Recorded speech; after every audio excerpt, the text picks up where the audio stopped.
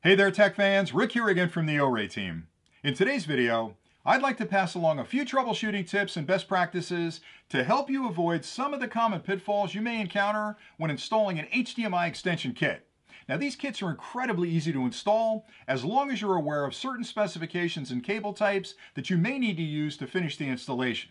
But before I get too deep into the troubleshooting tips, I thought I'd start off with a really basic understanding of how an HDMI extension kit works. So with any HDMI extension kit, you'll find a transmitter module and at least one receiver module. Some kits have multiple receiver modules, but essentially one transmitter and one receiver. The transmitter module is located at the primary site where you're enjoying the content today that you'd like to share with the remote location. The remote receiver is at that secondary site where you'd like to enjoy that content.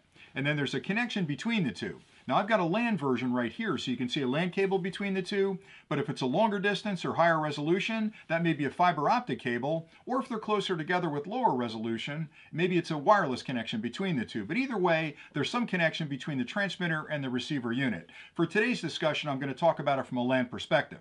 The other connection you'll need to make is an HDMI connection between the transmitter module and your media device and the receiver module in your monitor. So that's where I'll start because a lot of the problems that customers encounter have to do with the connections between the transmitter and receiver modules and either the media device or the monitor. And that HDMI cable is super important that you get the right type of cable and the right certification of the cable. So with HDMI cables, there are really two certifications that you need to be aware of, HDMI 1.4 compliance and HDMI 2.0 or 2.1 compliance. And typically, if you're transmitting 1080p content, HDMI 1.4 is perfectly fine. But instead, if you're transmitting 4K or 8K content, you'll want to have at least an HDMI 2.0 or 2.1 cable. Now, they look very similar, I've got two cables right here. This one is an HDMI 1.4 cable, and this one is an HDMI 2.1 cable. So you wouldn't really know the difference by looking at them, but when you buy the cables, there's certification standards that you'll find for the cables that you're purchasing. One other thing you may want to consider is there are different speeds of cables as well. So this is a standard cable, which again is perfectly fine for 1080p content. This is a high-speed cable, which is really recommended 4K content and above. And my recommendation to you would be always try to find the best HDMI cable you can afford because even if you don't need a high-speed HDMI 2.1 cable today, you may want to upgrade the resolution of the content you're sharing or you may want to extend the distance between the transmitter and your media or the receiver and your monitor and having a higher quality cable that's high speed will allow you to do that. So the HDMI portion of it is pretty easy to check, but that's the first place I'd look. The next connection that's extremely important is the connection between the two modules, between the transmitter and receiver module. Now, in this case, I'm using a LAN-based system.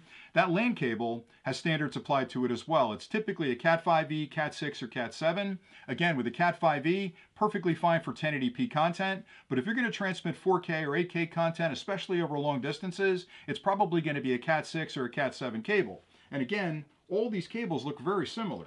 Here I have three cables. This is a Cat5e, this one is a Cat 6, and this is a Cat 7. Now, depending on, again, the distance and the type of content you're transmitting, you'll want to select these cables. Now, if the cable's already run, you don't have a lot of choice over it, but if you're running a new cable, my suggestion would be at a minimum to use a Cat 6 or even a Cat 7 if you can afford it. It is a little bit more expensive, but it's worth it because, again, if you upgrade the content later on to a higher resolution or you want to extend that secondary location further away, having a Cat 7 cable will accommodate both of those situations. At a bare minimum, check the manual because the manual will specify the type of HDMI cable that it expects to use and the LAN connection between the two. So always check the manual and that'll help you avoid some of the problems initially. Another consideration is typically there's a power supply at the transmitter and a power supply at the receiver that need to be plugged in. A lot of times you'll plug that receiver power supply into a power strip at the remote location and maybe even plug this into a power strip at the primary location. The problem with a power strip is that you're sharing that electricity from the wall outlet across anything that's plugged into that power strip. And as you plug more devices in, whether it's a big monitor, a couple of media players, a DVD player, all of those are drawing current out of that power strip. You may not have enough power left to actually supply power to the transmitter or the receiver. So the thing I'd recommend is if you're having problems and you've checked the HDMI cable, you're sure you've got a good LAN connection, if you're plugging something into a power strip, unplug it, plug it directly into a wall outlet to see if that solves your problem. The other place you can get into trouble is sometimes the receiver modules run off of a standard USB-A 5 volt uh, voltage. So a cable will include a USB-A connection that you can typically plug into your monitor or plug into a wall power supply. A lot of times you have to check the USB-A connection on that monitor to make sure that it can supply enough current to actually power up the module. Typically one amp, one and a half amp, or two and a half amps is perfectly fine for that. Another consideration is a thing called EDID, which is Extended Display Identification. Now EDID controls both the resolution and the audio type that's being transmitted across your solution. And you have to make some decisions about, am I transmitting 4K content? Am I transmitting 5.1 or 2.1 surround sound? And the EDID settings have to be set correctly to accommodate that type of content. Again, the manual's your friend in this case because in here it'll explain exactly what the EDID settings are for different audio structures and for different resolutions and frame rates. So make sure you match those two up before you get started because that's another really important consideration.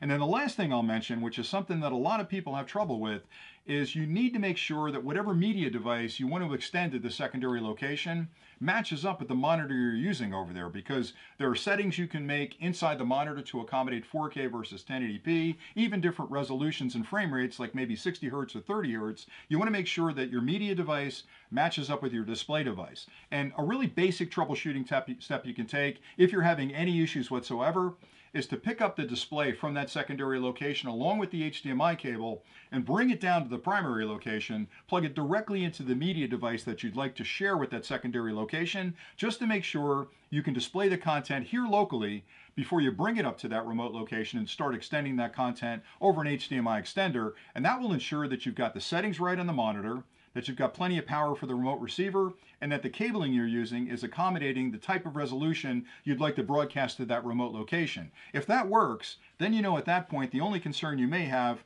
is with power to the receiver and the transmitter module or the LAN connection between them, and those are easy to troubleshoot. So those are the five things that are the most common pitfalls that customers can fall into around an HDMI extension kit. But again, these products are so simple to install. With a few simple connections, you can have these up and running in no time. So hopefully you found this helpful, and until next time, thanks for watching.